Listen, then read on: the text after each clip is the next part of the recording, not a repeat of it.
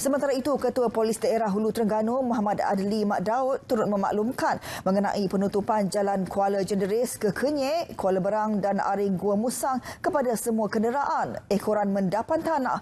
Beliau menasihatkan pengguna jalan raya yang mahu ke Gua Musang dan Cameron Highlands supaya menggunakan laluan alternatif melalui Kuala Krai Kelantan atau Kuala Terengganu, Kuala Lumpur, Ipoh, Perak. Papan tanda lalu lintas telah dipasang sepanjang laluan oleh Jabatan Kerja Raya JKR Hulu Terengganu untuk panduan pengguna.